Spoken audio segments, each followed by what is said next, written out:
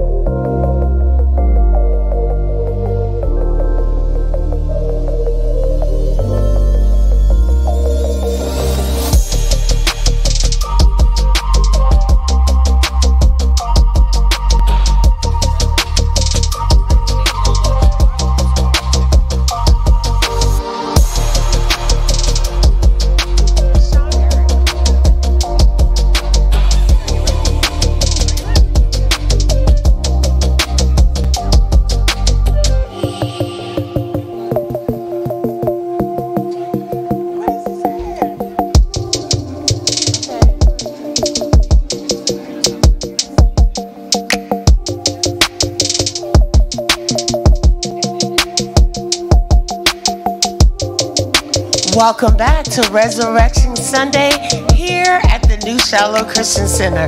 The word of the Lord said they went into the sepulchre and they said, Why are you looking for Jesus amongst the dead? He is not here, for he has risen just as he said. Let's give Jesus a hand that he rose on this day.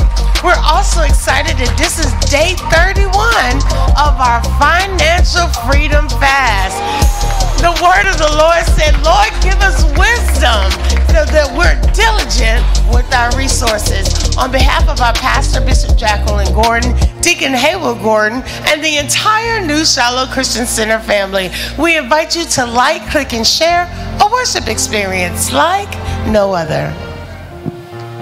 Hallelujah, hallelujah. Let us give the Lord some praise this morning.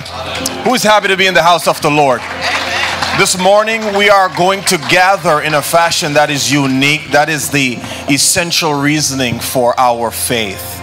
He is risen. And because He is risen, we can rise again.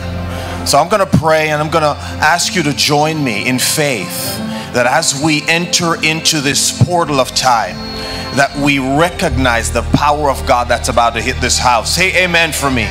If you agree with the power of God rising in this room, I need to hear some joyful sounds. Hallelujah, hallelujah. Father, in the name of Jesus, God, as we converge in this moment of prayer, Father God, we begin to open up our hearts. We begin to open up our minds as you open up heaven. Father, we pray, God, that as we begin to converge on the mount of prayer, God, that you will release a blessing. You will release an anointing anointing of praise. Release fire from the north, from the south, from the east and the west. Father, because you are risen, we can rise again. We can rise from slumber. We can rise from sin. We can rise from depression. We can rise from mistakes. Father, you um, that you are doing a new work, um, a great work, um, a powerful work in us. Christ in me uh, is the hope of glory. God, release your glory in my belly. Release your glory in this room.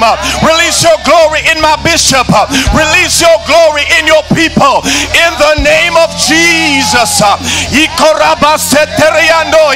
Let the fire of God begin to burn.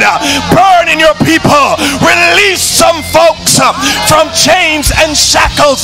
Release release uh, the families, uh, release uh, the finances, release, release. In this moment, God, we rise this morning in prayer and we say thanks in Jesus' name. It is so, and so it is.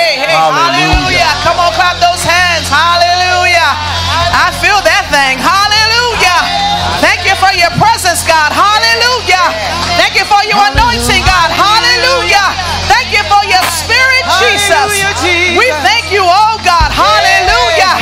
Because you rose with all power in your hands. So for that, God, we say thank you.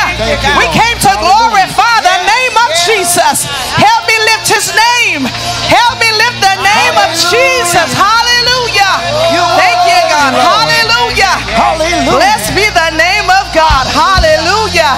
I don't know about you, but I'm ready to step into the joy of the Lord. He's been too good to me for me to stand still. So today we're going to step into the joy of the Lord. Hallelujah. Come on, put those hands together. Thank you, Jesus. Bless your name, God. Hallelujah. Come on, let me hear all over this place. Let's make a joyful noise unto the Lord.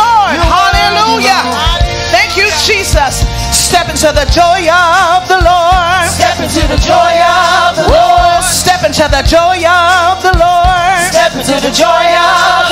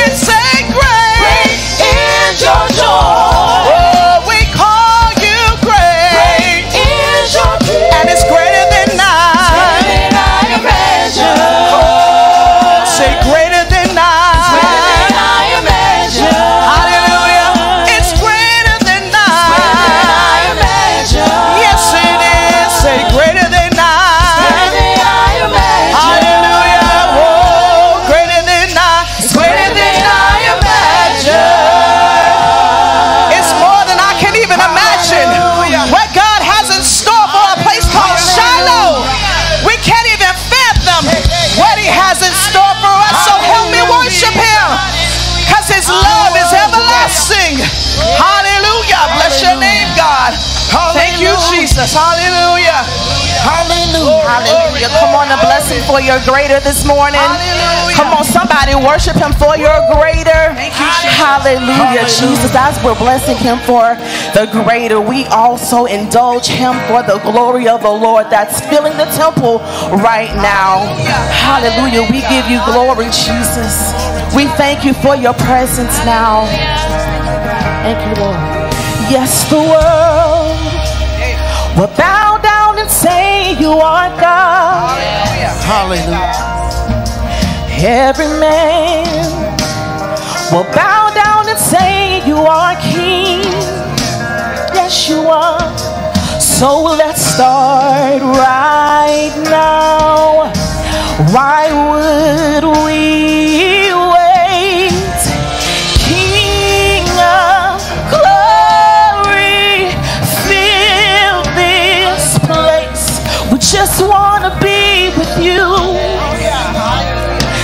just want to be with you. Anybody want to be in his presence? Oh, King of glory, fill this place. We just want to be with you. We just wanna be with you. Can we sing it together? Yes, the world. Yes, the world. We're bound down. Bound down to say you are God.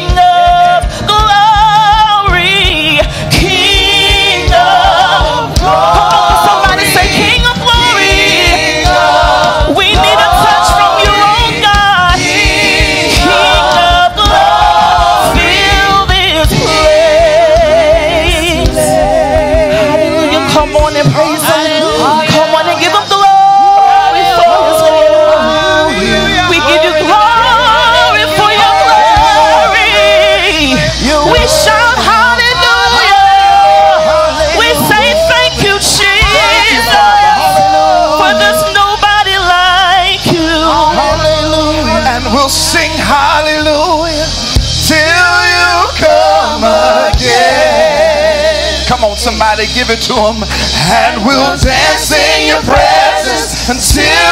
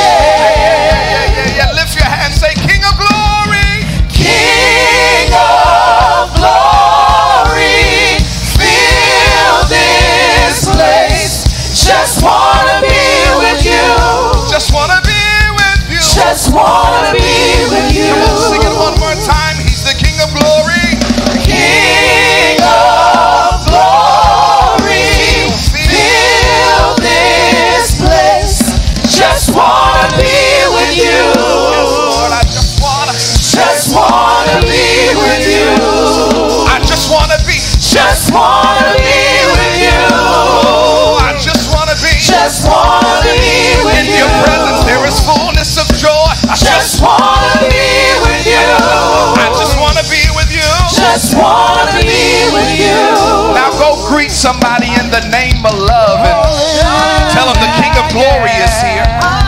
Yeah, yeah. Good to see you in the house of the Lord. He's filling the temple. Hallelujah.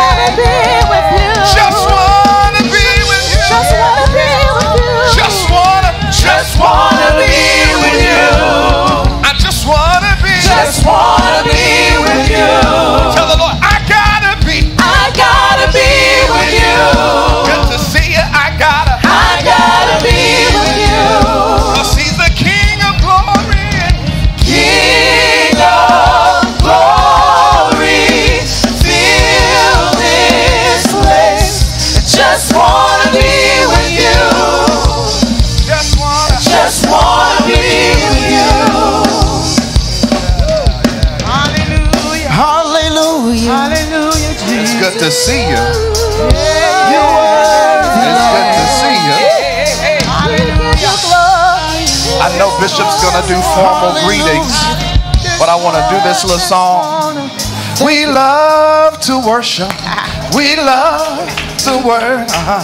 We love to shout in the Holy Ghost. We are glad that you're here. We are glad that you're I here. hope it shows. And we hope that it shows. I just want to say, Welcome to the family of Shiloh. you gotta come on. We love. We love to worship. We love to We love the word. I like to shout. We too. love to shout in the Holy Ghost. I'm just setting the stage. We are glad that you're I here. hope it shows, And we hope that it shows. Welcome. Welcome to the Say family. welcome. Welcome to the family. Welcome to the family. Welcome to the One more time. Welcome. Welcome to the family of Shiloh. Welcome.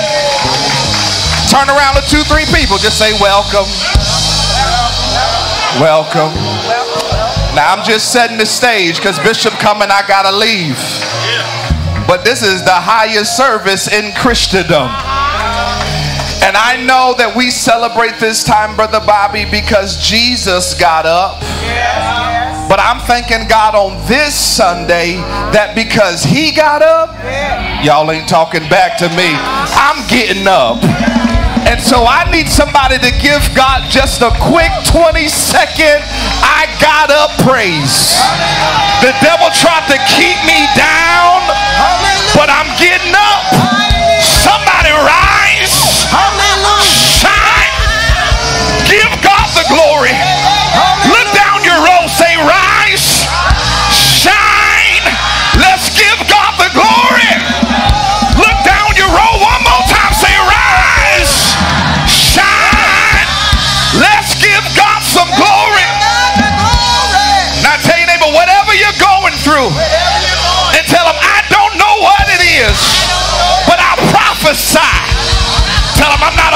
A but today I prophesy.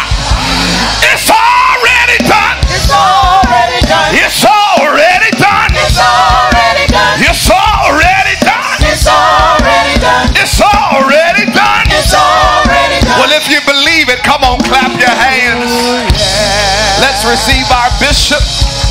Hallelujah. I love my church.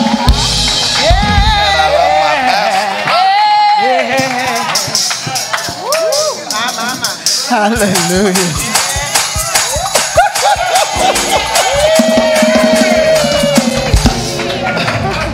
Hallelujah. The Lord is certainly good to us, and we're glad about it. Amen. I decree and declare, along with the elder today, that it's already done. Whatever you stand in need of is already done. I'm so glad that He woke us up this morning and He started us on our way. Hallelujah. It's 2024 and we're still here. Amen. By the grace of God, we're still here. It's not that we've been so good, but it is because He's been so kind. And when I look back over my life and start to think things over, all of my good days outweigh my bad days. So I won't, I won't complain. Put your hands together and let's bless the Lord in this place. Oh, you may be seated. We're so thankful today for you being here. You could have been so many other places, but you're here sharing with us on today, and we're excited about it. Amen. We're grateful for all of you who attended our 5:30 a.m. service this morning. Amen. It was not as chilly as I thought it was going to be. Amen. Amen. I didn't say it wasn't chilly. I said it was not as chilly as I thought that it was going to be. The Lord was gracious, and it was a beautiful sunrise this morning. I want to say thank you to all of our guests on today. We're thankful today visiting with us is Gwendolyn Brantley and Aaliyah is here as well. And then we have Now, no, somebody said Athea. Yes, Athea is here as well. And then it looks like Darrell. Did I get that right? I don't want to mess up someone's name. Huh? Dear, I'm sorry. I'm so sorry. I thought that, but I wasn't sure, so I thought I'd take the easy way out. And I messed it up anyway. But thank you. And then, and then, and then, and then, my friend is visiting with us today, Mr. Gary Selesky. Amen. We're so grateful to have him here with us today. Gary is a part of our pushback team, and he's been with us, amen, from the time that we've started. He's been a great inspiration to me, and um, he's been a blessing as well. He's a man with many gifts and many talents. And um, one of the things that he said to me, he wrote me an email last year, and he said, Bishop Gordon, um, he was away over in the Bahamas for a while, and he said, You've been on my mind. I can't wait to get back. And he said, I just want to help you. I just want to do some things with you. I just want to be a part of what you're doing.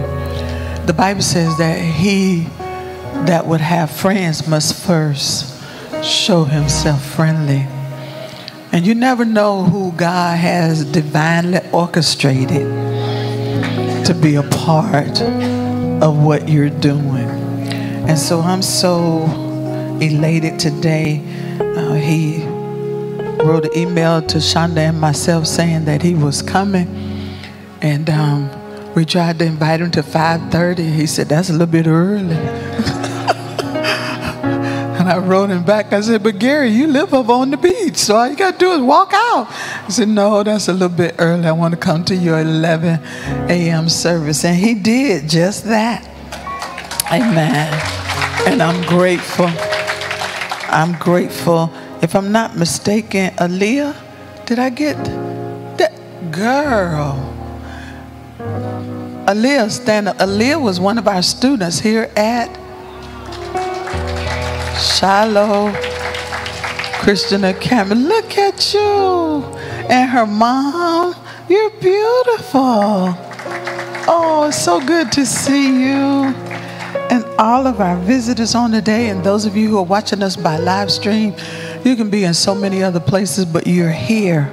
And we're grateful. We want to say that our hats is off to our production team last night who orchestrated a great performance.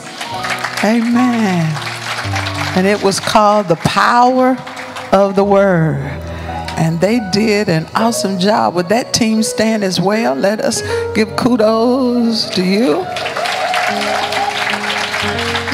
Amen. They did a wonderful, wonderful job. And you never know. That's how Tyler Perry started out. You never know. God can have some great things in store. Amen. You have no idea what God has for you. I, I'm, I'm going to just for a moment put Gary on the spot. I told Lisa to go and tell him I wanted him to have words, and I saw him shaking his head. No. No, but I know he knows me well enough by now and push back when I say what goes, it goes. So he's visiting today and I got the mic. Would you all help me welcome a friend? Amen. Mr. Gary Selesky. He's just going to come with a few words. Amen. Impromptu. Amen. But God bless him on today. Come on.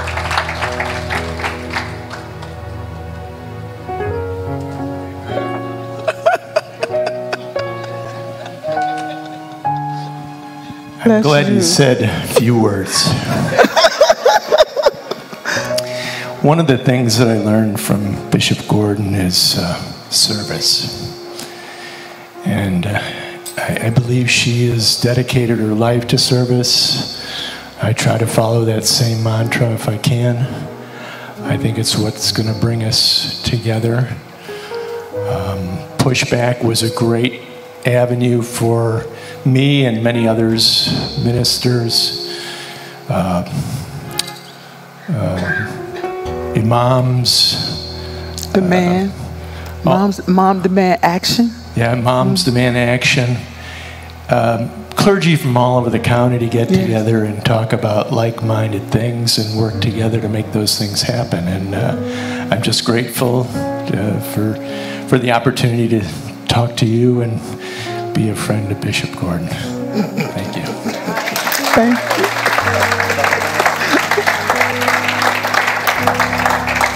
Amen. Gary was one of those persons that whatever we stood in need for and pushed back, he was there to help us make it happen. And he's from the Baha'i organization, and the people from Baha'i just joined in with us as well. You never know who God again is connecting together. Amen. He bring people together for his purpose and for his will and his glory. And so we're just so thankful for what he's doing in us and through us and for us. As we move forward, we're so grateful for the opportunity. We'll be right back in our regular spaces coming up this week. On Monday, we'll be back um, with our Let's Talk. And our uh, guest for tomorrow night is going to be Elder Jonathan sharing with us um, his piece, and then we have another piece. How many of you are still doing the financial fast? Okay, day 31. And so, with that, I'm going to ask um, on the 17th, we're going to celebrate the end of the fast. It actually ends on the 8th or 9th of April, the 9th of April. And so um, after that, we're going to celebrate it though on the 17th. And I want to ask at least five persons who really did it and who um, it really blessed and helped. If you could give us your testimony on the 17th. Someone said to me, Bishop, I'm so glad that we did this because every morning on my way to work, I stopped at Starbucks. And when I couldn't get the Starbucks, I stopped at that new coffee place. Uh huh. I knew. Uh huh. I knew some of y'all knew it. Mm. Every morning, they would make us stop, and that coffee is seven or eight dollars a pop. Amen. And um, since they started the fast, they said I didn't realize how much money I was saving by not stopping at the coffee shop. And some of you can attest to that as well. It's not how much you save, it's the fact that you started the journey. And that's what we are excited about. It has been said that if you do something for 30 days, it becomes a habit. So you've done it for 40. So I hope by now it's kicked in. And starting in April, we're going to be doing some things and sharing some things with you that whether you want to believe it or not, we are gifted and highly favored. I'm going to say that again. We are, notice I'm inclusive. We are gifted and highly favored. I'm not just talking about our church, but I'm talking about as a people. If you go back and study the history of our people, you will understand there's a reason why they went to Africa and brought some of us back over here. Amen. Amen. And believe it or not, I say that with respect, but we have been known over the years. Jonathan alluded to it on Friday night when he stated that George Washington Carver went into his laboratory every day, not with a textbook, but with his Bible. And he prayed and asked God as he studied the peanut.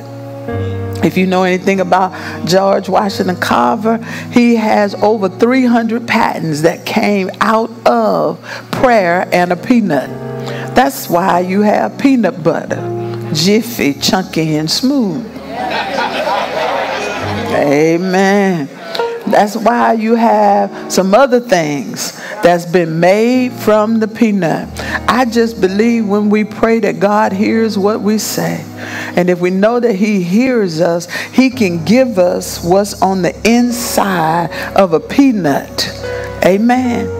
He can give us creative ideas. He said that he would do exceeding abundantly above all that we could what? Ask or think. The only thing that he asked us to do is ask him. And the Bible declares that there's nothing too hard for God. I believe that He will give you the secret of whatever it is that you're asking Him for. For that's how things come about. And God has blessed us and gifted us to be very intelligent people. And we're asking God to give us the wisdom of what to do and how to do. Do you believe that? Amen. I believe that there are some entrepreneurs among us. I believe that there are some people that can start their own hairline business. Okay, y'all still sitting there. I believe that there's some other people, amen, that, that God can touch your mind and your hand and give you ideas, amen, that has not even been thought of as of yet. You can create your own secret recipe for chicken.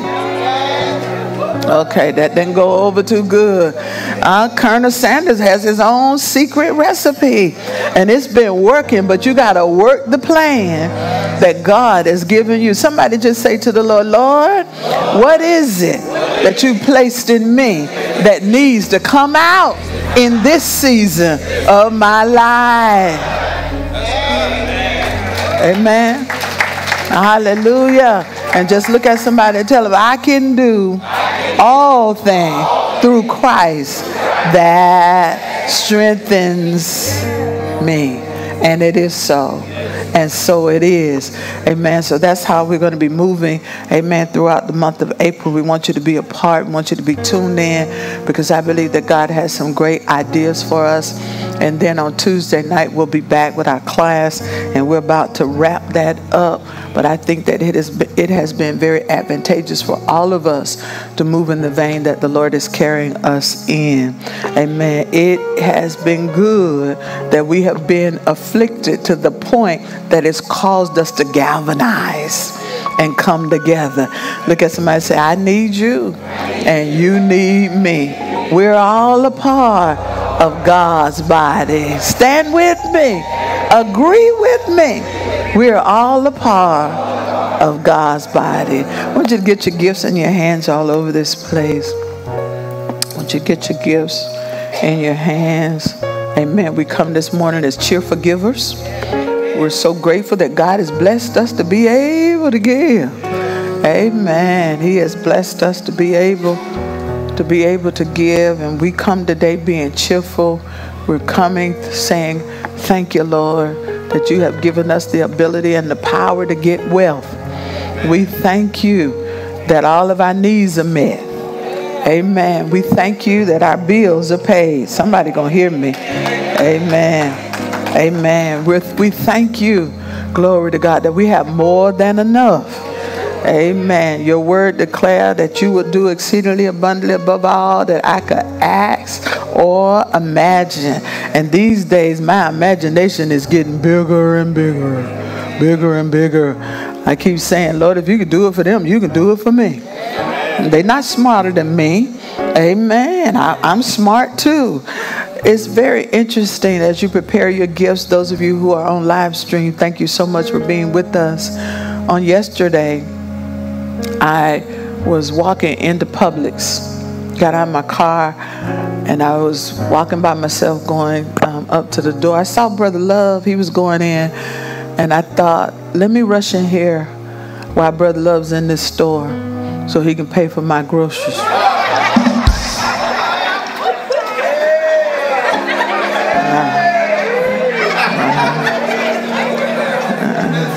Yeah, yeah, yeah. I, I was trying to hurry up and get in the store because I knew if he played, if he paid for my groceries, the Lord was gonna bless him. The Lord has set up a great opportunity for him to pay for my groceries. Amen. And, and then I, I want y'all to know he missed it. He missed that opportunity. And this is the interesting thing is I was walking in the store and I saw him. He was already in the store and uh, I was pushing the basket and I saw Brother Love. I said, Brother Love, I was trying to get in here so you can pay for my food. He said, God bless you, Bishop.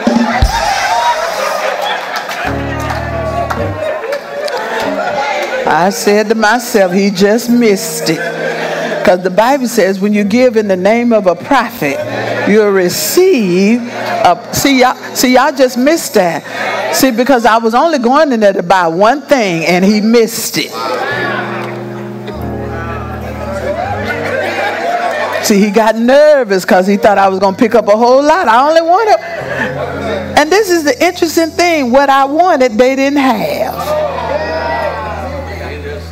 Say what now, Brother Love?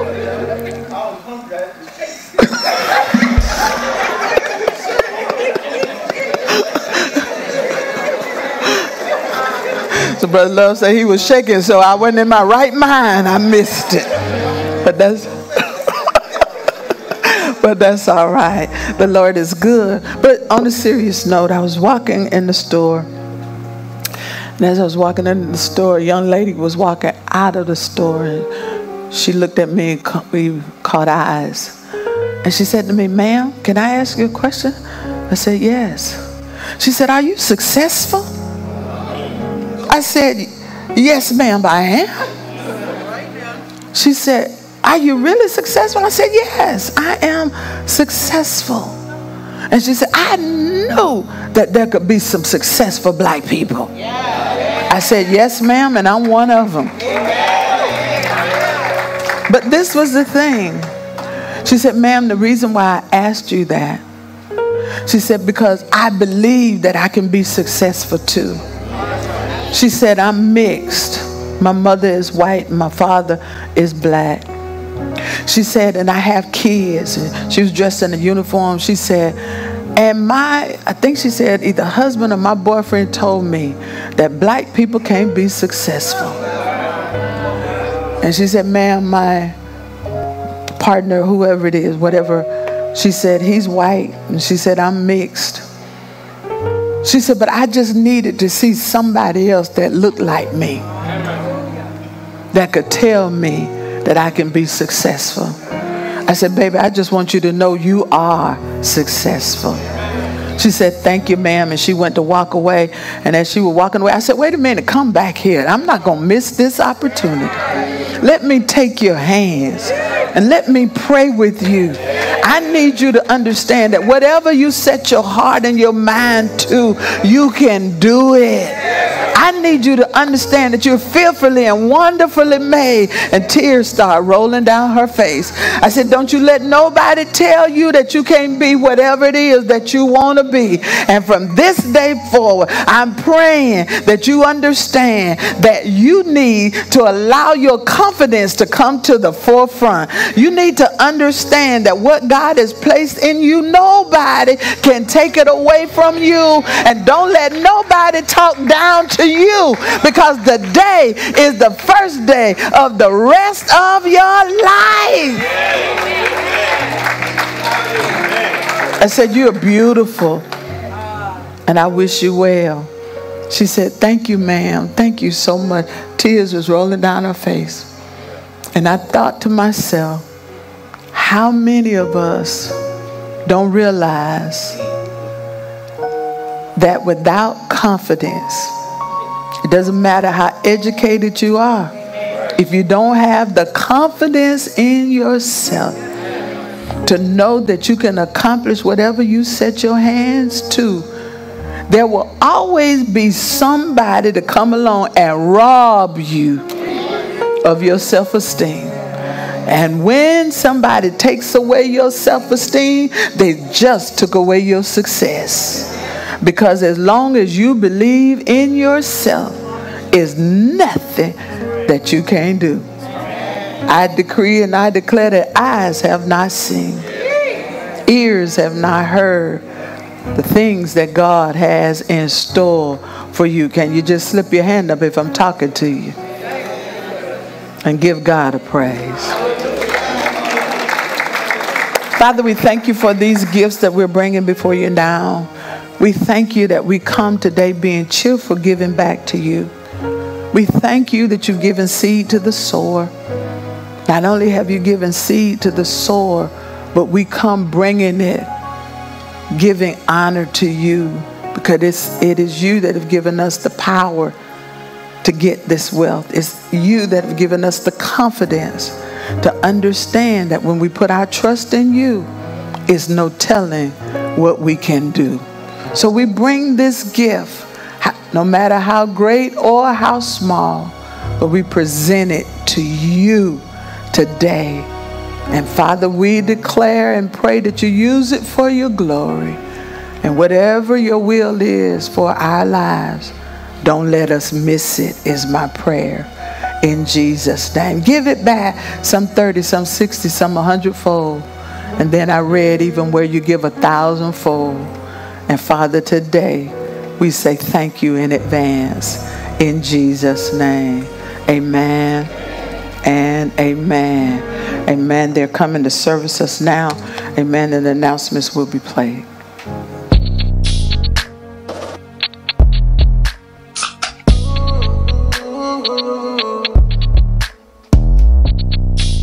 Pull out your phone and start a watch party on Facebook.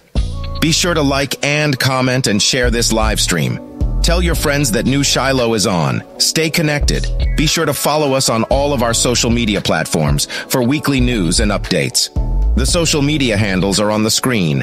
Tune in to Bishop Gordon on Zoom for Let's Talk on Monday evenings at 7 p.m. There will be midweek worship this Wednesday night at 7 p.m. Are you in need of prayer? Join us every morning on the prayer line at 6 a.m. Call 267 807 9598. Access code is 397590114 pound. The men of Shiloh will meet with all men on April 7th, immediately after the 11 a.m. service.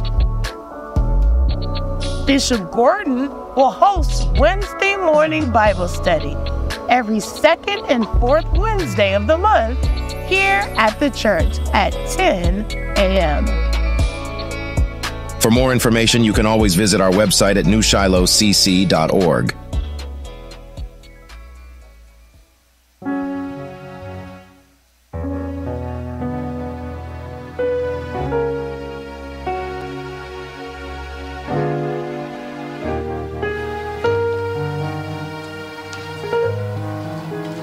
Hallelujah.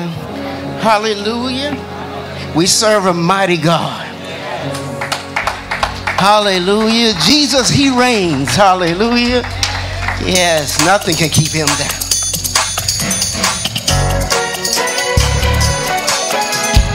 Come on. Hallelujah. Give Him a praise in this house.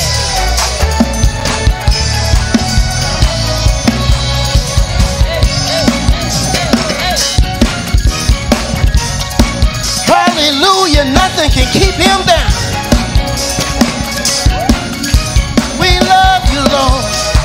Hallelujah. All hail. All hail the King of Abraham.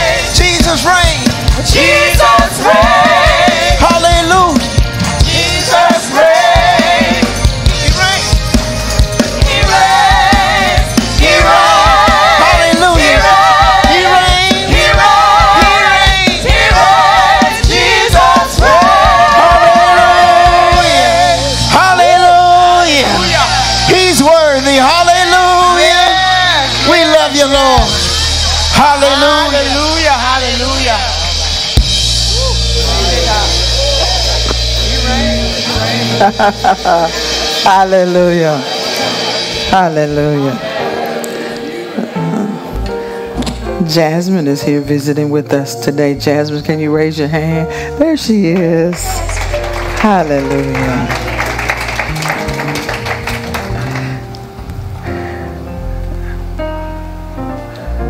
John chapter 13.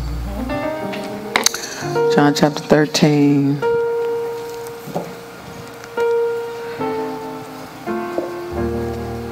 How many of you know that the Bible says that a double minded man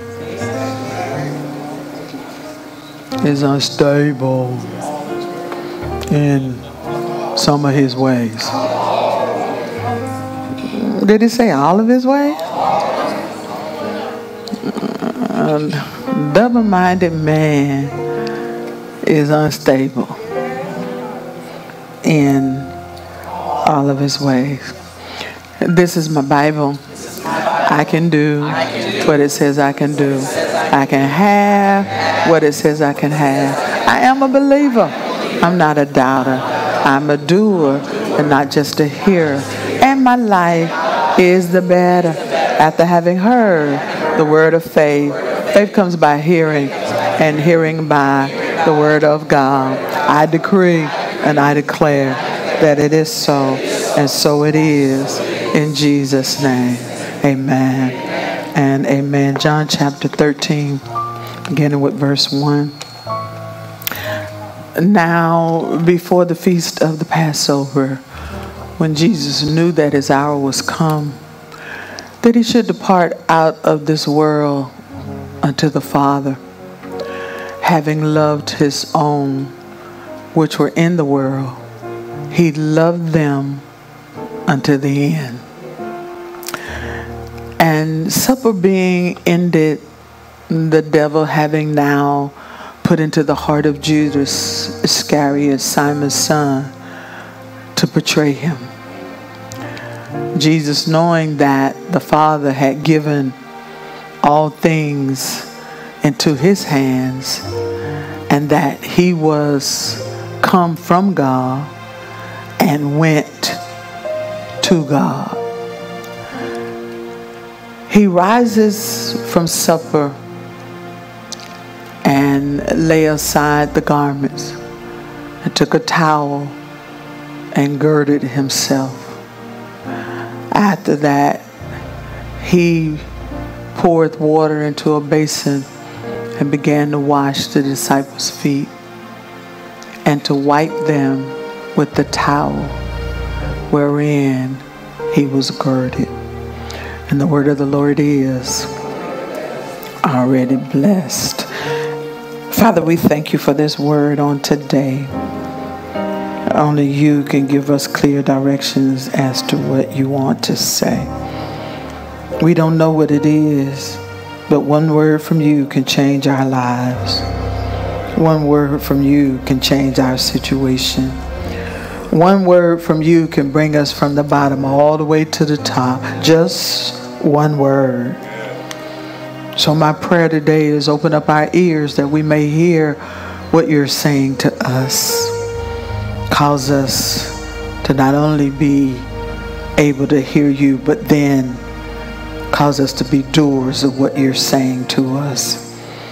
So, we thank you now that you thought enough of us to send your word. Today, God, we say thank you because you've sent your word to heal us, to bring us into another space and a place with you. And we thank you for it in Jesus' name. The people of God said, Amen. And amen. You may be seated.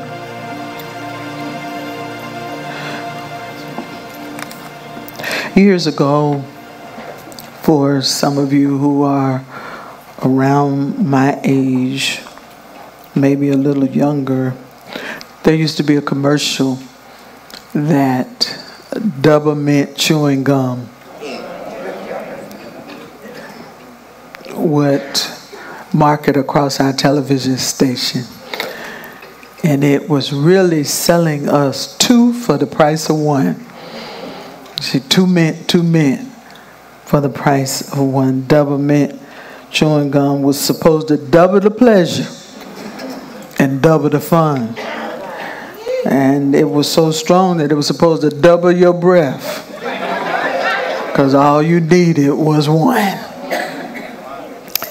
It's interesting how the Bible alludes to the fact that when God calls one, he always sends someone else along to be the support system for that one. When you think about it, Moses had Aaron. And when God spoke to Abraham, he told him to get from around his kindred and get from around and out of the country, but he didn't send him alone. When we look in scripture, God always has someone that's there to help you on your journey. Sometimes we have to not allow those persons that God has put around us to become our source. We have to always keep in mind that they are a resource. Believe it or not, I don't care who you are, everybody needs somebody that they can talk to. Everybody needs somebody that they can lean on. Amen. Sometimes I have found that you have to be very careful with who that double person that you bring into your life. It takes time to get to know people. And it's important that we understand that God never intended for you to be alone. That's why he says in his word that he sent his son. And when Jesus got ready to go, Jesus said, I'm not going to leave you alone, but I'm going to send you what? A comforter. And he's going to be with you always, even until the very end. Look at somebody say, I'm not alone. I'm not alone. I might be riding shotgun, but don't get it twisted. I'm not by myself. He walks with me and he talks with me and he tells me that I am his own. He lifts me up. Glory to God. He allows me to lean on him when I don't have the strength to stand on my own. Glory to God. There are times that He rocks me in the cradle of His arms. There are times that I can't tell my double what's going on but I can talk to him that's on the inside of me. How many of you know people don't always understand what you're going through, but we have something on the inside of us that'll give us clear direction as to what to do. Isaiah said it like this They that wait on the Lord, he shall renew our strength. It's easy when we look at the passage that I've chosen for today it's easy to dismiss Judas in this narrative as a villain or as a victim. But I'm struck by the fact that Judas was just like some of us. Judas was a man that was chosen by God.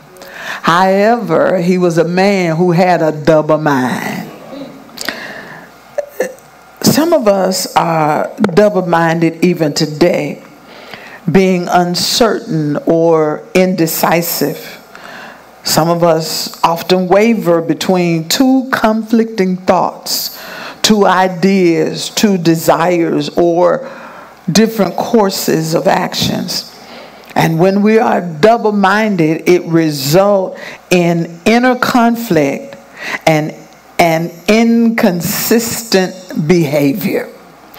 That's why some people that are your ride or die, uh, they'll ride and die at the same time if you're not careful. It's interesting that as long as everything running good, your ride or die is riding with you. But the minute that something go wrong, you really find out were they really your friend at all, or were they just going along for the ride? In the season of my life, I don't need no ride or die. I need somebody that's going to stick with me to the very end. I don't know about you, but when I took my marriage vows, it said for better or for worse. It said for richer or for poor. I had a couple that wanted to get married and they said, Bishop, we want you to take that part out. I said, Well, if I'm going to marry you, it's going to stay in. Because it doesn't matter how rich you are today. Money, watch this, come and go. Okay, somebody catch that in a minute. You got to understand that you can make some bad investments and you can be on top of the world, glory to God, and mess, mess around and make one investment and it can wipe out everything that you have. We have to understand that you have to learn how to put your trust in God because He is the only sure foundation that we have. When we talk about the idea of being double minded, it's important for us to understand as we're dealing with our ride or die, double minded will cause inconsistencies in people's behavior. I don't know about you, but there's some people who love Bishop Gordon. And then there's some people that when Bishop Gordon don't do what she they want Sister Gordon to do, then Bishop Gordon becomes the worst bishop there is. Watch this. But what people don't understand, and sometimes we don't understand about God, is the Bible says, those he loves, he chastens. Oh, see, I just dropped the bomb and you didn't care. If you if you have friends that won't tell you the truth, they're not real friends. If you have friends that go along with you in everything that you're doing and they just let you do whatever and it's okay, just know somewhere along the line the wagon is going to break off from the from the, the, the wheel is going to break off from the wagon and you're going to find yourself by yourself. Watch this. But a real friend will tell you when you're right. Real friend will tell you when you're wrong. And a real friend will keep your secrets. Okay, y'all just missed that. A real friend don't it doesn't matter how mad they get with you. Or let me let me rephrase that how angry they get with you. You know, because when you get mad, you crazy. Okay? But how angry they get with you, they are reminded, Sean, that I'm your friend. And when we were in real good, there's some things that you told me. And now that we've fallen out, nobody needs to know what is between me and you. Something that I know, I'm going to take those to my grave because you trust me. Oh, y'all didn't catch that. When you put, when somebody put confidence in you, you have a responsibility to hold what is being said because you can't afford to be double minded because surely as you mess somebody up, somebody is going to mess you up too. The Bible says you reap what you sow. So Judas was a follower of Jesus, and not only was he a follower of Jesus, but he was a preacher of the gospel. However, Judas was double minded. In Luke chapter 9, verses 1 and 2, it tells us that Jesus called 12 men together and he gave them power. I want you to notice the text. He called 12 men together, he gave all 12 of the men power. Not only did he give them power, but he gave them authority. Watch this to drive out demons and to curse diseases. If you're taking notes, you need to write that down because Jesus gave them power and authority. Most of us put power and authority in the same sentence and believe that they are the same thing, but they're not.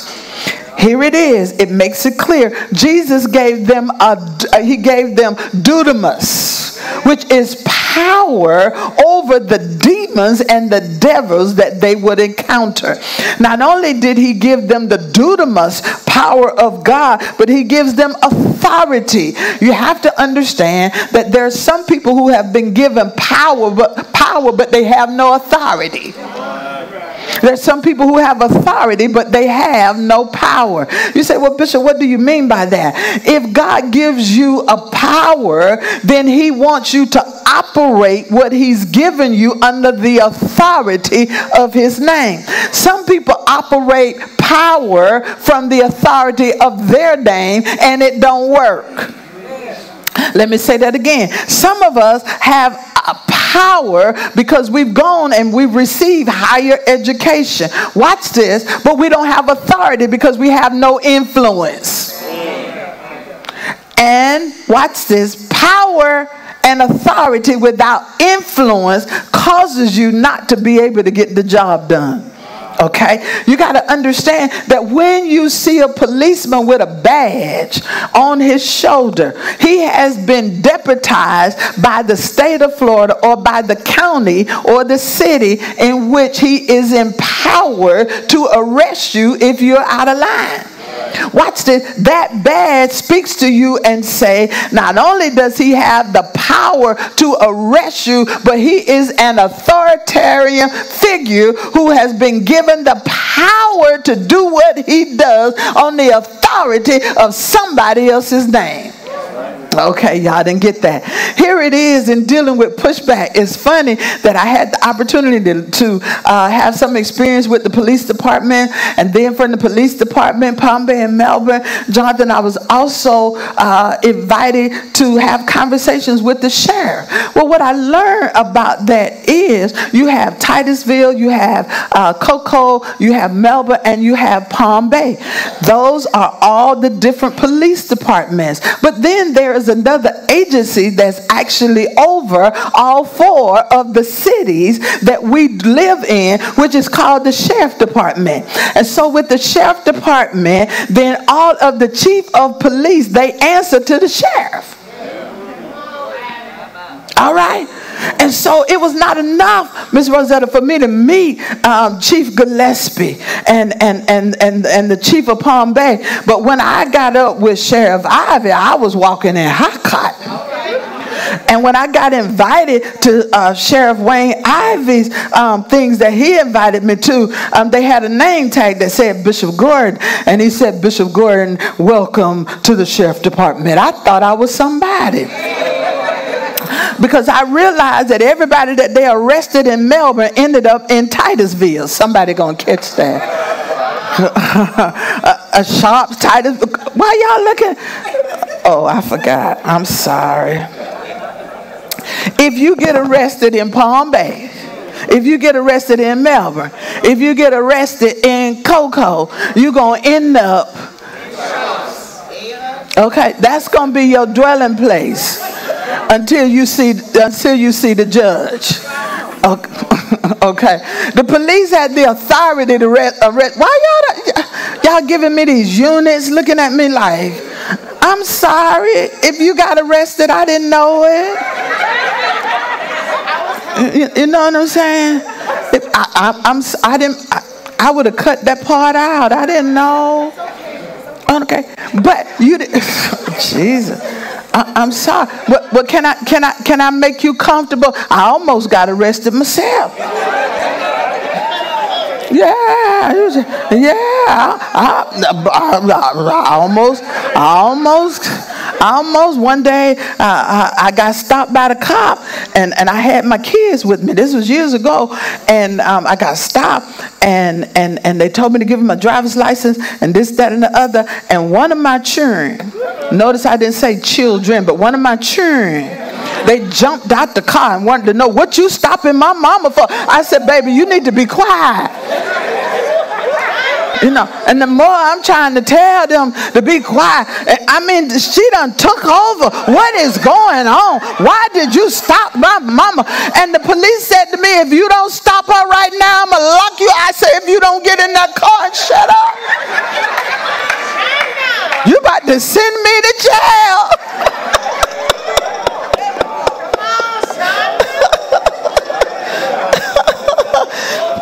at somebody say, you could be in the wrong place with the wrong people and end up in the wrong place.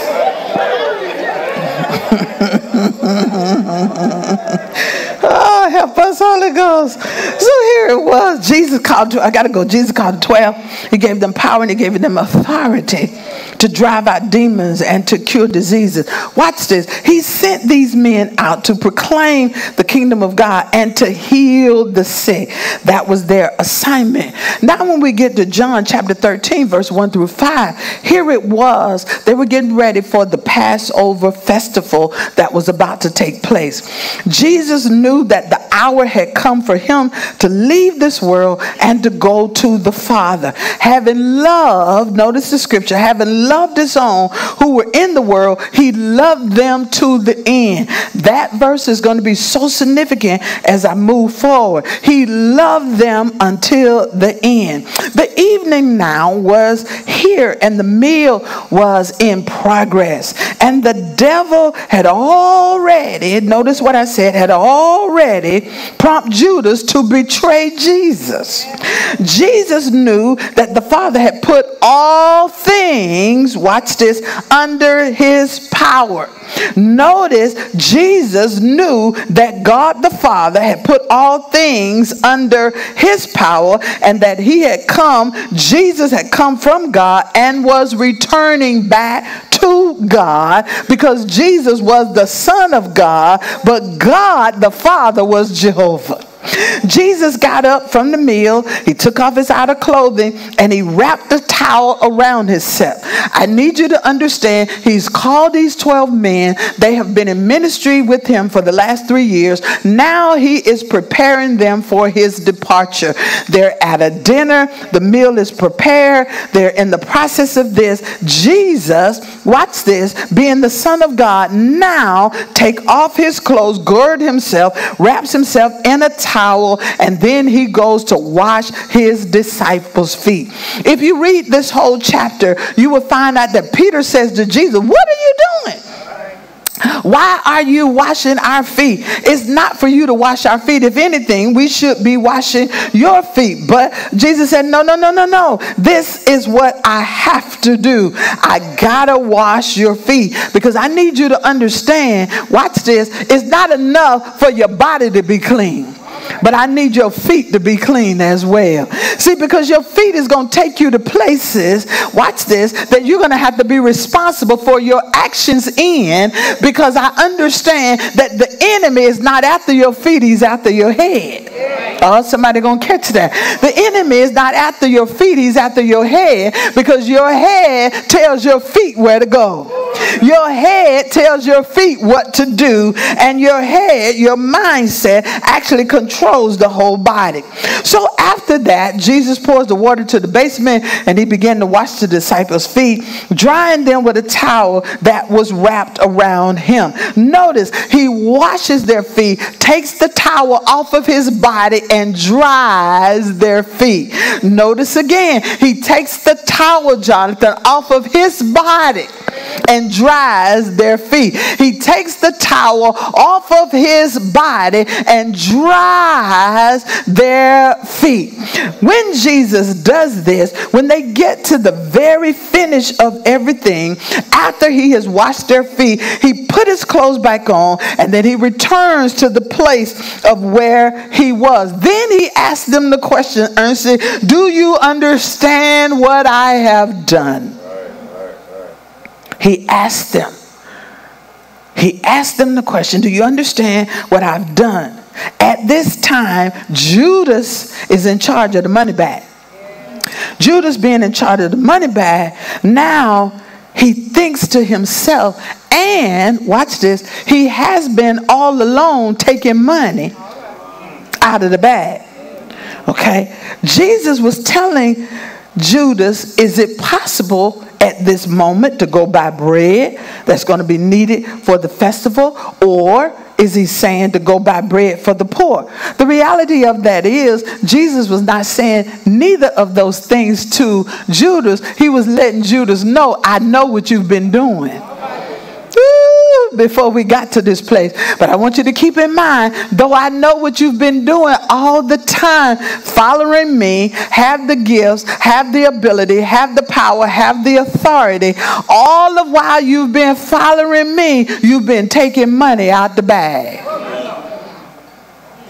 Watch this. While you've been taking money out the bag, I never said anything to you about what you were doing because I was hoping that you would come to yourself.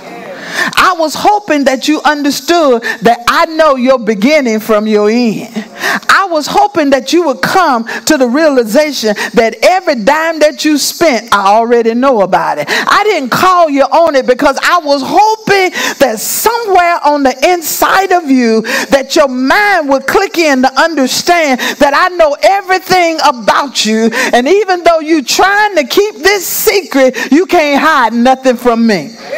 Not only can you not hide anything from me, and I know you, and I know what you've been up to, I'm still going to position you and keep you in the place that I put you and wash your feet, even though you're not doing right by me. Notice the text. There are four things that I need you to see in this passage, and I'll be out of your way for this Easter. These four things that I need you to see, you might want to write them down, is that Jesus made a commitment. His commitment was to Judas just like it was to the other 11. He said, I've called you, I called you by your name. Not only that, I've given you power, I've given you authority, I've given you authority to cast out devils, and I've given you authority to heal the sick. I've given you authority to use my name. Watch this, and you will see by the use of my name that you will have the same power that lives on the inside of me. Here it is. Judas now, because, watch this, he has accepted to be one of the 12, he took on commitment. Judas takes on commitment and he makes a commitment, and you have to understand that a commitment is being dedicated, loyal, and devoted to a person or a cause. So when Judas accepted to be a disciple, he now commits to God that I'm willing to follow after you and do the things that you want me to do. Commitment involves making a pledge or a promise. Commitment says, I'm going to uphold, I'm going to uphold certain responsibilities. I take on the responsibility and the goals and the values, regardless of obstacles or challenges that may arise. I am committed to the cause. Every time that Jesus did anything that he did, he took the 12 with him. I need you to keep in mind that every time he trained Jonathan, Judas was a part of it. I need you to understand that every miracle that Jesus did, Judas saw it. I need you to understand that Jesus now says to Judas, Because I have called you, I am committed to you to cause you to understand that I know what you're going to do before you do it, but because I called you, it don't change my assignment to you. Let's look at it. The second thing that he does is Judas is also given the same opportunity that everybody else is. Isn't it interesting, uh, Brother Adrian, that here it is, Judas has been called by Jesus along with the other 11 disciples, and he's given the same opportunity. Watch this. Jesus does not take away from him because he know what he's going to do. He give it to him anyway, hoping he would change his mind.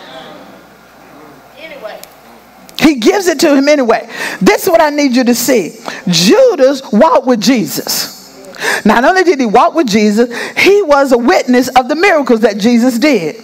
Not only that, he saw Jesus feed the 5,000. He saw Jesus calm the storm. He saw Jesus raise Lazarus from the dead. He heard of all the teachings. He heard the sermon on the mount. He heard the parable of the prodigal son. Watch this. With his own eyes, he saw the evidence. With his own ears, he heard the teaching. With his feet, he followed the example. And yet, at the same time, according to Jeremiah 17 and 9, the heart is deceitful. Above all things, beyond cure. Who can understand it? Can you imagine seeing Judas with the 12, but having a different mindset of the 12? Is it possible you can be called to a thing and be committed to a thing and don't have the heart of the thing on your mind? Let's look at it. Number three, I want you to write it down. The third thing that I need you to see is Judas' mindset is doubled because he's made that choice. Watch this. This messed me up, Lisa, because God says, before you ever knew who you were, I knew you. And I made choice of you before your mother and your father ever cohabitated together. I had a plan and purpose for your life. Nothing and nobody could separate you from the plan that I have. No matter what they did or allowed to happen to you from the beginning of time, I protected the seed that I put in you and the gift and the power that I gave to you, I've kept it for my divine purpose and my divine plan. And no matter what came your way to try to take you out, I held on to you for purpose. And because I held on to you for purpose, I did it because it was my choosing. And then I gave you choice to see if you want to be in my purpose. That's why when you got so close to some stuff, woo, you thought you just pulled back, but it wasn't you pulling back. I was pulling you back and holding on to you because I knew up the road I had something greater for you. You, you didn't know it. Some of us was on the verge of a breakthrough and couldn't even see it. And the enemy was trying to wipe us out. But God, because he had made choice of us, saying, I put something on the inside of you that I need you to make the right choice with and by. I need you to understand you're not here by happenstance. You're not here just because your mother and your father got together. You are here because I have a divine purpose for you. Not only do I have a divine purpose for you, but nobody can do what I've called for you to do. Nobody can ever be who I've called you to be. Nobody can ever do it like you're going to do it because I've given you the gift and the talent that I want to be used at that particular time, in that particular space, in that particular place. And can't nothing and nobody substitute for what I have for you to keep in mind that you're fearfully and you're wonderfully made. Somebody said, No, I don't think I'm beautiful because I got big eyes and big lips. Do you not know God intended for your eyes to be just like they are? He intended for your lips to be just like they are. Oh, but Bishop, I, I don't have long hair. Well, you don't have to worry about that. He knew and he knows how much hair you have on your head. He knows the number of strings that's on your head. You don't have to compare yourself to somebody else. You don't have to be like nobody else. He says, I love you for you. I want you for you. I want to be to you what I want you to be to me. I need you to understand that I've given my life so that you can be all that you can be. Nothing is going to change my mind about you. No matter how many times you fall down, I've already put grace uh, out there so it's going to rescue you. It's going to pick you up. When you feel like you're by yourself, I got a love that's going to hold on to you. If you just wait, I'm going to send somebody that's going to encourage you. If you just wait, I'm going to be the lifter of your head. If you just wait, joy is going to come in the morning. If you just wait, peace is going to come in your mind. Don't quit. You're in the right place. You're in the right space. You got to make the right choice.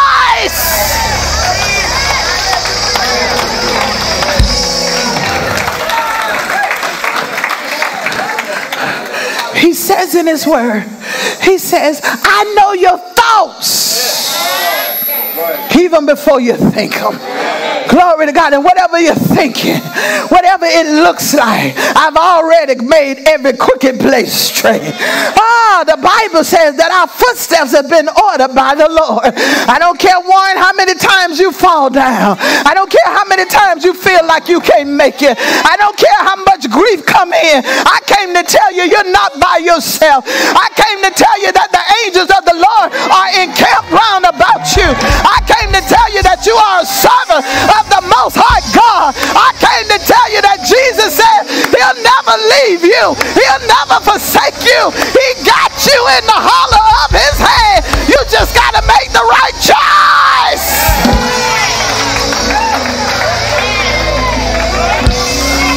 Look at somebody say, make the right choice. Make the right choice. Don't let the devil rob you. Don't let the devil stop you. Don't let can do it. You can do it. And you don't have to do it by yourself. He woke you up this morning. He started you on your way because he wanted you to give him praise. He wanted you to give him glory.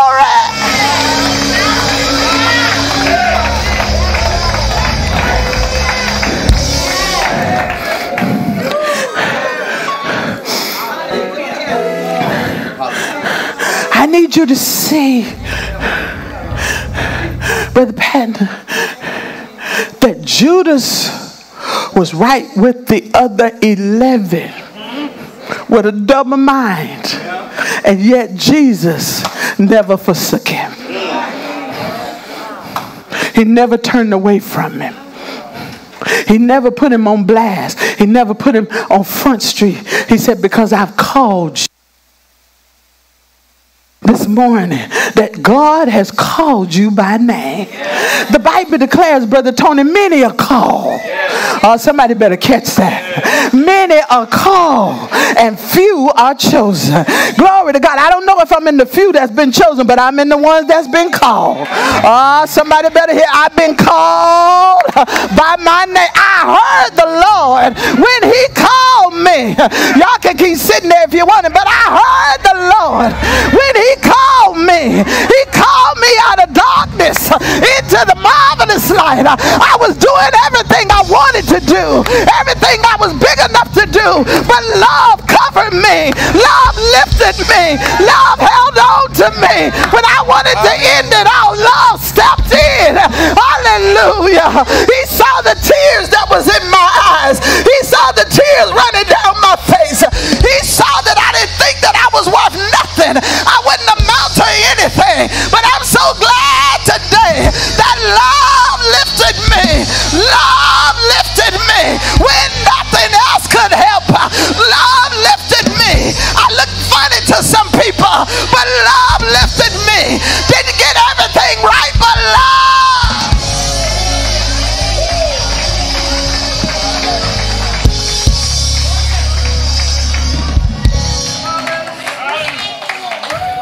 So, in spite of me, I've had to learn how to make some right choices.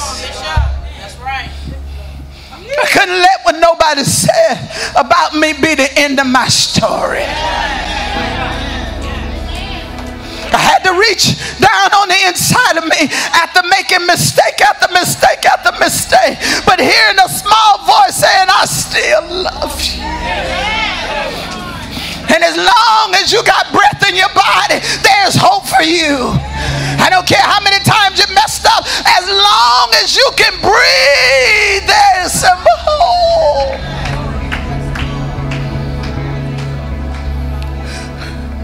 So Jesus sees Judas. And Shonda, he says, I'm hoping that because I've called you, I've appointed you, I have anointed you, that no matter what you do, I won't turn my back on you.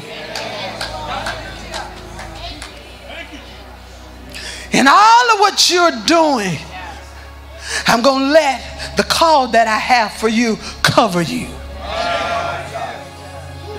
And I'm not going to turn away from you. The only way that you and I separate is when you turn your back on me. And even when you turn your back on me, I'm going to still be trying to woo you and get you back. So Judas goes along, and when you listen to the narrative, it says, read chapter 13 in its entirety. You will see after he washed their feet and he dried their feet. Jesus said, Somebody in this room is going to betray me. And they started looking around. They wanted to know who is it that's gone? I'm looking around this room right now and I'm wondering to myself, who is it that's on the Lord's side? Who is it that's been called to walk with me through the thick and the thin? Who is it that got my back? That when my back is against the wall, you might not ever say anything to me, but in your secret closet, you're calling my name, Lord. Remember, remember, remember, remember, remember. Help her, Lord. Remember. I don't understand everything she's doing, but God help her. Give her grace, Lord. Give her strength. Help her, Lord. Be the lifter of her head. Help her, Lord. Put some joy in her heart. Put some peace in her heart. Don't let her mind go, Lord. Help her. Help her. Help her.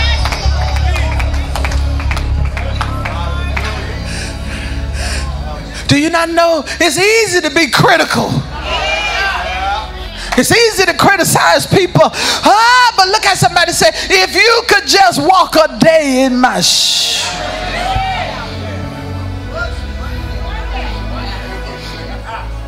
Just put them on for a day.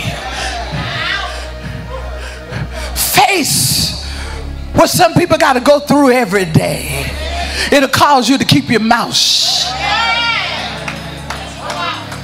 It'll cause you to go in your secret closet and say, God, I don't know what's going on with him, but help her, help her, help her. I don't know why she's acting like she's acting. I don't know why she's responding the way that she responded. But God, all I got to do is say, help her.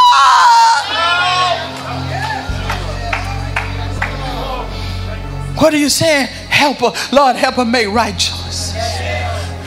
See, some of us can talk because we ain't been through nothing. But what do you do when the devil packs his bags and sit them on your doorstep? That part. What do you do when your children get in trouble? What do you do when your spouse walk out on you?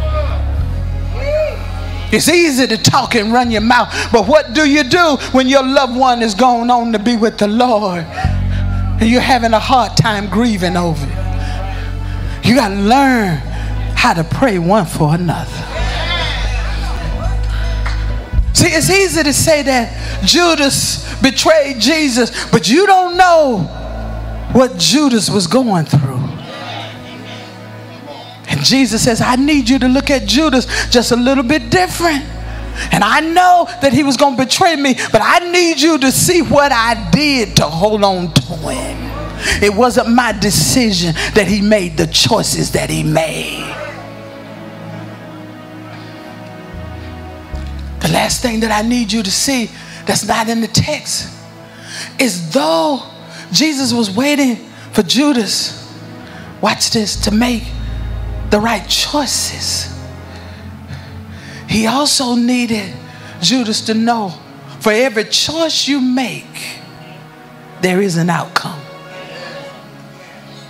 And Dr. Jeff, the outcome is not always like what you think it's going to be.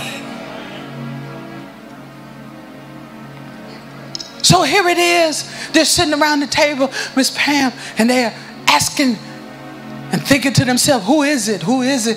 Who is it? Who is it? Read the text, and Peter says, leaned over to John, John, the, the disciple that was close to Jesus. Peter leans over to John and he says to him, Who is it? Would you ask him who it is? I got tickled when I read that, John, because some people will push you up to do what they won't do. because they don't know what the outcome gonna be. So they'll put you up. And some of us some of us we bite it. I do it.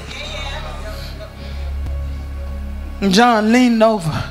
You got to read the text. The bible said john leaned over on him and john says to jesus who is it the thing that I like about the text, Gary, is that Jesus don't put Judas on blast. He said, I'm going to let you figure this one out for yourself. See, because any of you that can cast the first stone Right now, I have y'all thinking, Are you the one? Are you the one? Are you the one? Are you the one? Listen, I need you to know you are not so good that you don't need grace on you. Can't afford to put your mouth on nobody because you don't know where you're going to be on tomorrow. You don't know what's going to happen in your family on next week. Hallelujah. You don't know when you're going to be in Holmes Regional or somewhere and going to need somebody to pray. So be careful what you do and what you say.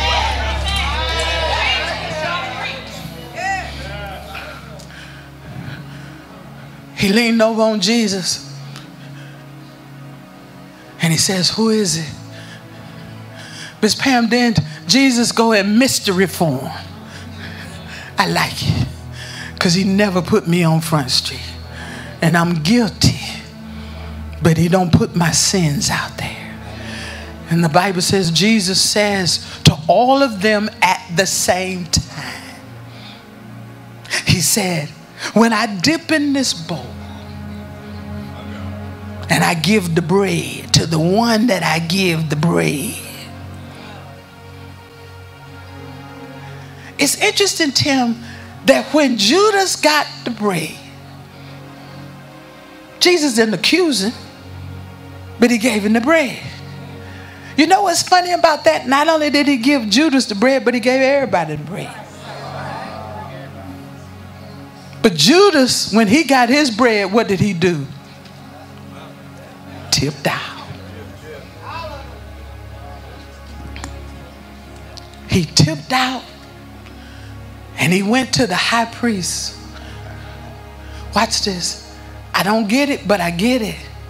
He went to the high priest and they plotted a plan of how they were going to kill Jesus. I don't know about you, but in my life right now, I don't want to be a part of the plot that takes somebody else down. I don't want to be the person that's going to cause somebody to miss the mark. The Bible says that Judas went out and he got with them and they made a plan. And you know the rest of the story. But in John 13 and 27, that one verse, I'm going to read it to you and I'm done. Because it's not my position to judge you, it's your position to look at yourself. I don't care who you are, you have to become transparent with you. You have to go to God for yourself. In verse 27, it says, And after the salt, Satan entered into Judas. It says him. Watch this, Lisa. I need y'all to hear me. After the dinner,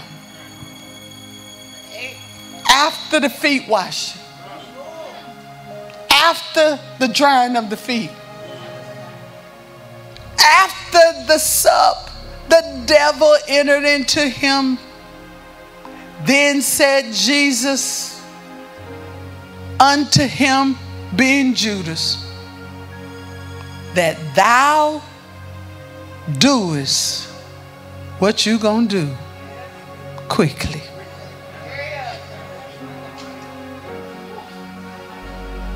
I didn't tell you to do it. I didn't even want you to do it. I tried to hold on to you to keep you from doing it.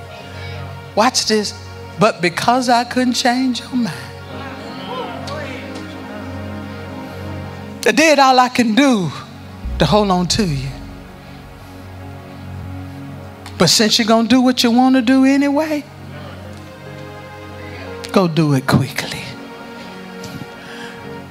I thought to myself, saying, why would he say go do it quickly? And I had to think about it for a moment. Jesus already knew what he was going to do before he ever do it, did it. The problem was he didn't know he was going to do it. That concludes my last point. You can think you know what's going to happen when you do what you do. but it don't always work out the way you planned.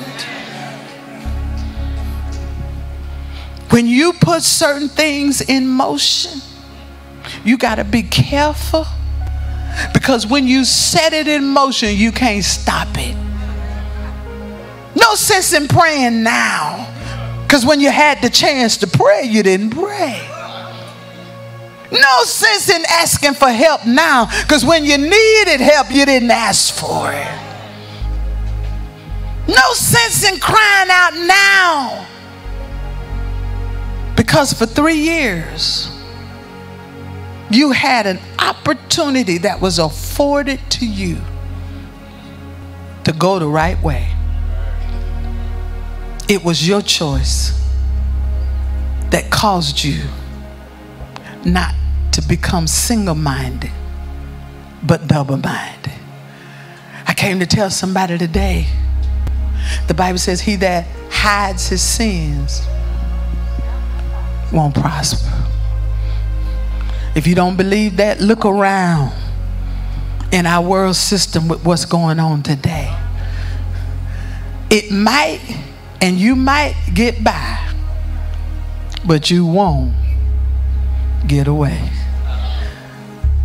Listen to our news, y'all, over the last few weeks. There are things that's going on that's been covered up for long.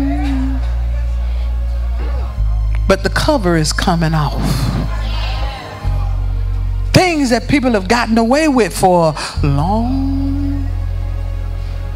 But now it's being brought to the light. And you don't want it to be said so close and yet so far. While you have a chance, and He's called you by name and put you in a special place, given you a power and given you an authority, don't take it for granted. There's some people who wish they were where you are right now. no matter what you're going through, it's somebody that's having it a little bit. Somebody wish they could take your place, and they ain't backstabbers. But if they could just change places with you for a day, they wouldn't complain like you complaining. If they could just change places with you today, they'll be saying, How great thou art how great thou art. And it's on a hill far away. Stood an old rugged cross. It was the symbol of suffering and shame. And how I love that old cross where the dearest and the best, where a world of lost sinners was slain. Today I cherish the old rugged cross.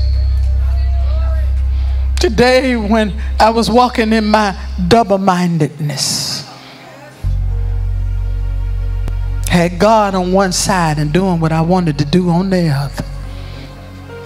But I had to make some choices. I try to tell people all the time I'm not perfect. I struggle just like you. But my prayer is God help me to make the right choice. Can I be honest with you? Some days I miss it, Miss Barbara. I don't make the right choices. But I read in the Word of God where it says that I can come boldly before the throne of grace so I can find help in the time that that's what Judas missed. He saw God, Jesus, do it for so many others, but he didn't ask him to do it for him. You cannot afford to let your shame, your pain, your frustrations, your aggravation keep you from the cross. If I have to go by myself, I'm going. If I have to walk alone, Miss Pam, I'm going. If my children don't want to go, I made a decision, I'm going. If I have to stand by myself, I've decided to make Jesus my choice. And though my sins can be as scarlet, if I can come to Him, He'll make me whiter than snow. You know what I learned? If you confess your faults, He'll forgive you. And He won't hold them against you no more. He'll throw them in the sea of forgiveness. And He'll give you double for your trouble. He'll pick you up. He'll turn you around. He'll give you a fresh start. Some people won't forget it, but that's not your problem, it's theirs. Today, you can stand boldly in Christ, a new creature. Today, you can declare that old mind that I have, I'm leaving it on the altar today. Everybody standing.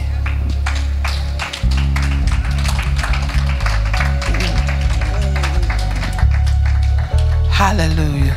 If you will, put that on the screen for me. Sandrine, thank you. Hallelujah. Hallelujah. Can you sing it with me?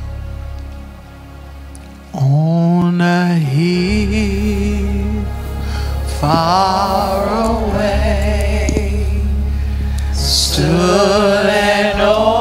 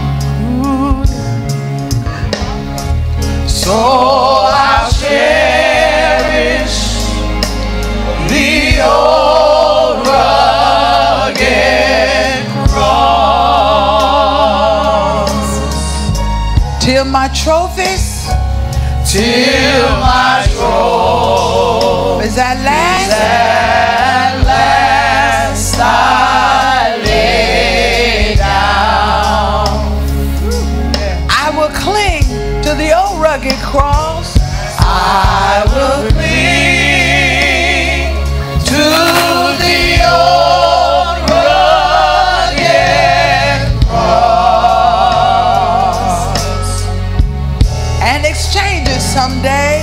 And exchange it someday for a crown. Verse 2, verse 2.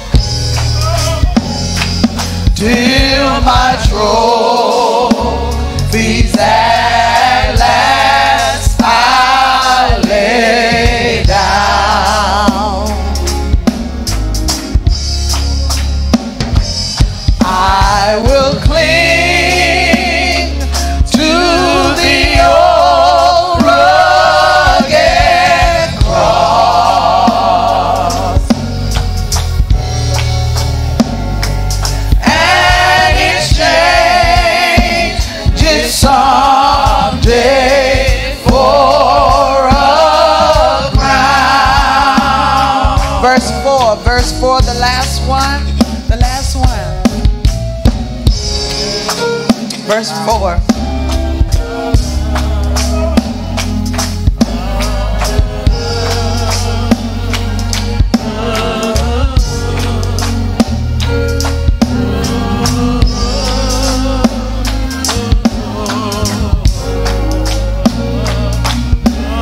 Go back to verse 1 then, verse 1. Verse 1. On a hill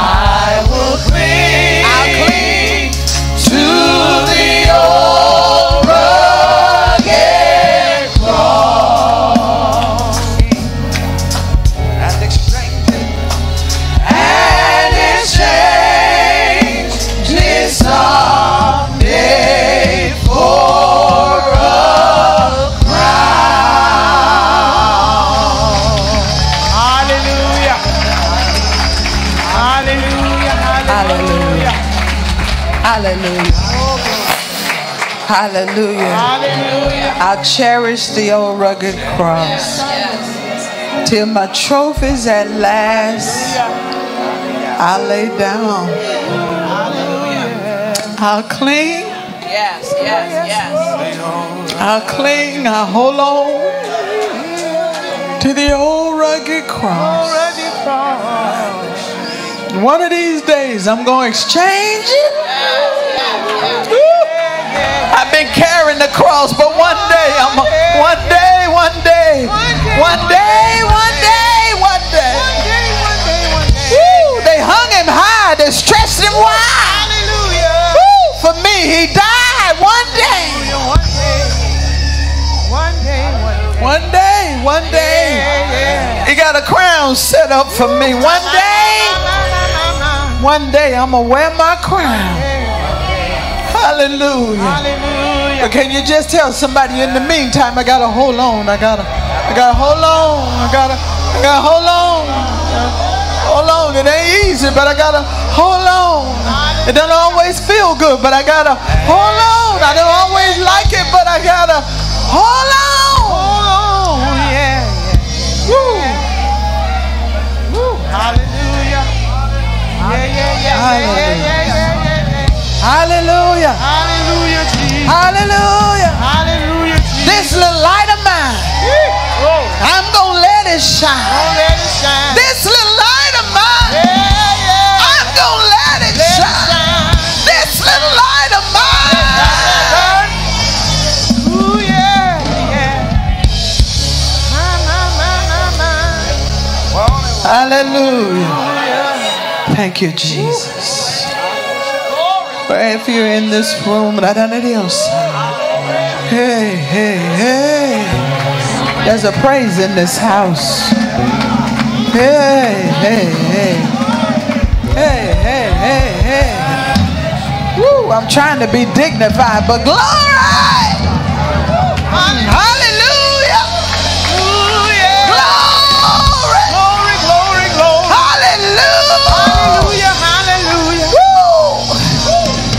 Hallelujah. Somebody on this side shout glory. Somebody here say hallelujah. Somebody say glory. Somebody say hallelujah. Somebody say glory. Somebody say hallelujah.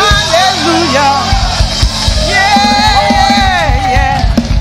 Hallelujah. Hallelujah. Hallelujah. Hallelujah.